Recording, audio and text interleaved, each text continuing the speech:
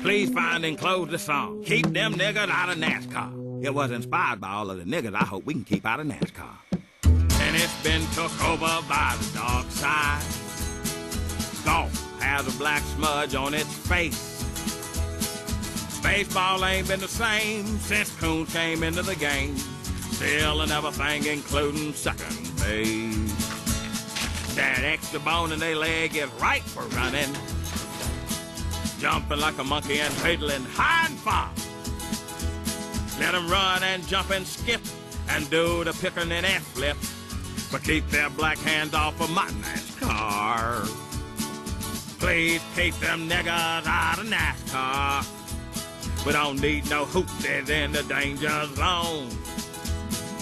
Niggas don't carjack my darling NASCAR. It's the last great thing a white man can call his own. Great thing a white man can call his.